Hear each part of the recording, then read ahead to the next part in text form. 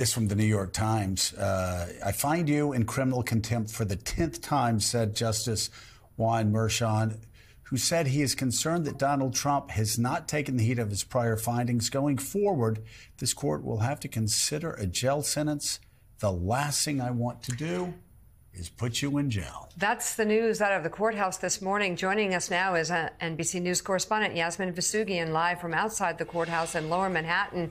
Yasmin, that's a tough warning moments ago from the judge. Uh, what exactly did he it say? Yeah. And what else is happening in court today?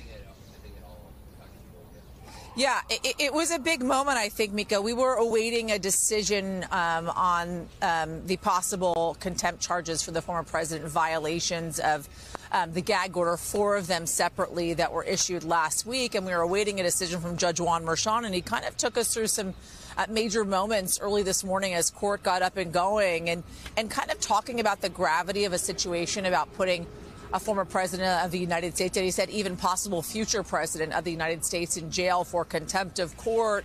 Um, and the fact that it would also involve Secret Service if he were to be put in jail, if he were to violate um, this gag order. He understands and sees that the $1,000 fines is not really making any difference.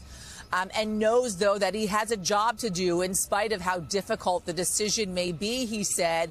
Although he is not putting him in jail for now, it seems to be yet another threat for the former president to not continue to violate this gag order. We're awaiting that official decision, Mika, because it was handed over to both the prosecution and the defense. They did not read that from the bench. When we get it, I'm going to bring it to you. But nonetheless, it seems like the judges. Mm uh, ready, willing, and prepared to put the former president in jail if he continues to violate the gag order.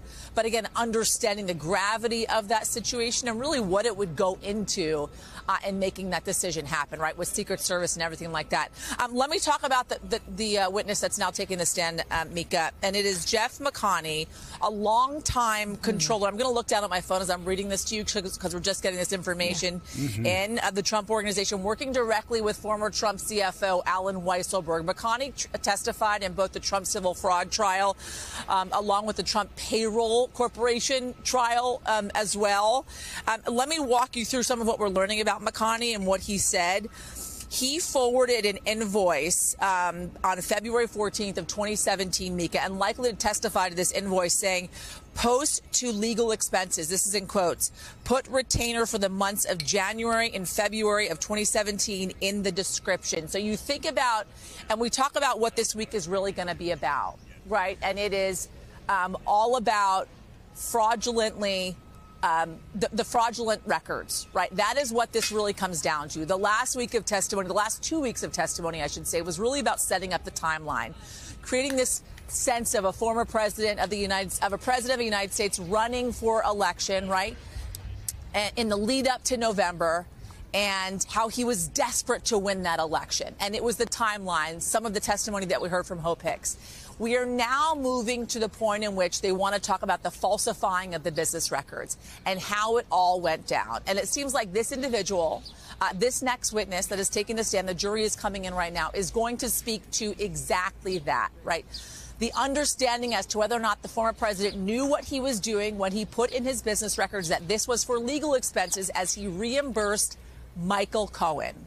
And so we're going to wait and see and hear the testimony um, from this individual now. And then, of course, Mika, we got to look ahead to some of those star witnesses, right? Stormy Daniels, also known as Stephanie Clifford, she could be taking the stand later on this week whether or not the former president decides to testify himself on behalf of the defense. And then that star witness, who I got to say seems like he's already on trial. We've heard about him thousands and thousands of times at this point, Michael Cohen. But it seems as if, Mika and Joe, what I'm getting, the idea that I'm getting from all of this testimony over the last couple of weeks is the real star witness is the documents, right? Because the prosecution yeah. doesn't want to necessarily rely on testimony from Michael Cohen and or Stephanie mm-hmm. Clifford, mm-hmm. um, Stormy Daniels, because of their credibility issues that the defense has really honed in on. They want to rely on the documents. So despite the fact that some of these witnesses that we're going to be hearing from seem a little bit more boring, right? They're not household names at this point. They are going to be integral, Mika and Joe, to building yeah. this timeline, building this story for the prosecution before handing it over to the defense.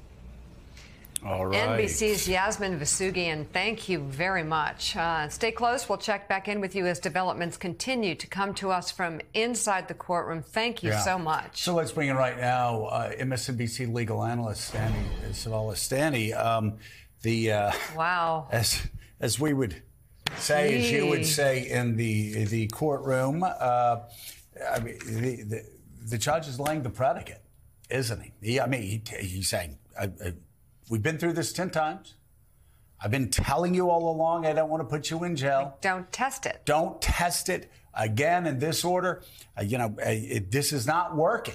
I, I don't want to put you in jail as a former president, a possible future president, but I may do that. I know you've got a job to do, but the judge says, I've got a job to do as well. It, it seems like it's a long windup, but it looks like he may be willing to throw that pitch at some point. Zero surprises from Justice Merchan here because uh, I didn't expect that he would jail Trump on this hearing, on this decision. I think he's going to give him at least a couple more chances because uh, contempt violations are about a continuum. You start with admonitions, then you say, well, here's your uh, statutory maximum $1,000 fine in New York.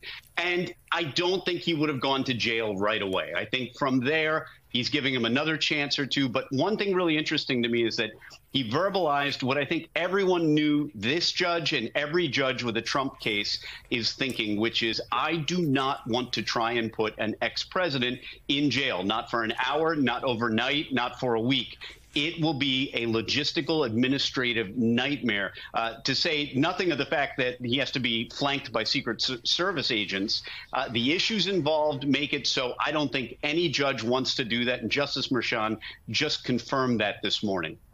Danny, does it not uh, say something though by the judge bringing that up?